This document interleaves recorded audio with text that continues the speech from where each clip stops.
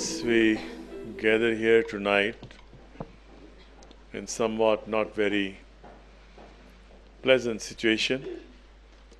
We have what we have been reading as imminent eruption of Mount Agung. The last time it erupted was in 1963, I guess. 63, right? And uh, it was quite a lot of devastation.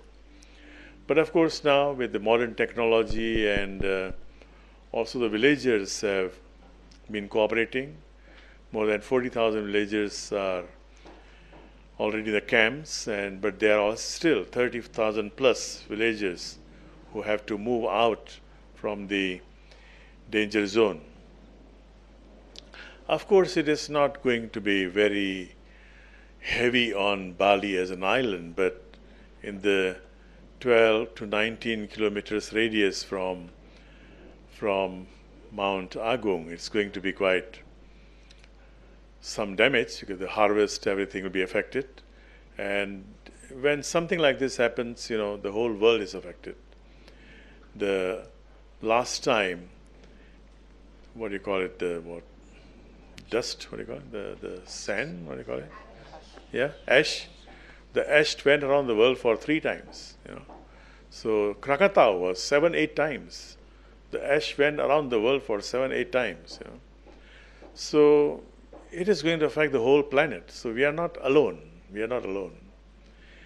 And this is not a time to be fearful. This is a time to to face your fears, to face your demons, to face our demons, you know.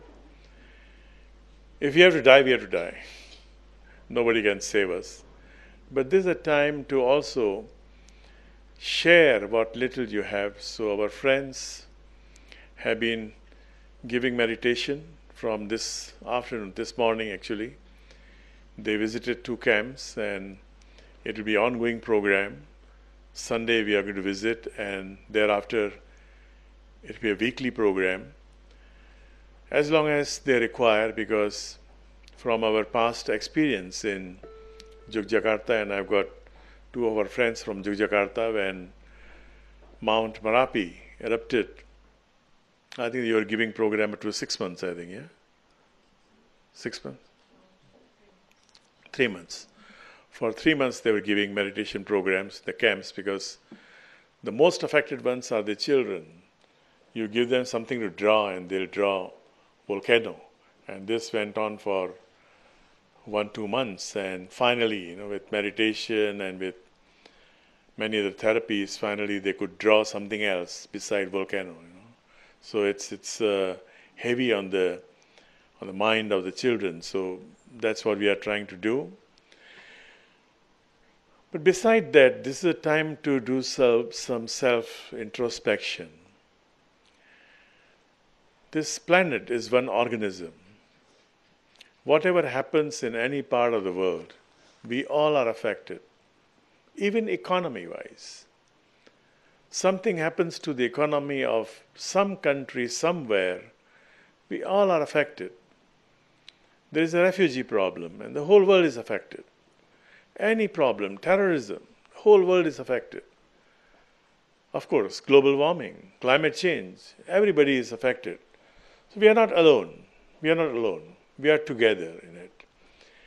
It's a time to do some self introspection. Of course, I was saying this afternoon, somebody was interviewing me, a journalist, and I was telling her the same thing. It's like you catch cold, you know, you cannot avoid it. From time to time, you catch cold. Even though you are very careful, sometimes you can still catch cold, you can get flu, you can cough. It's natural. Similarly, if you consider this whole planet as one organism, eruption and uh, floods, all these are natural, they happen. But let me also tell you something. I have met with some people who have been declared having cancer medically.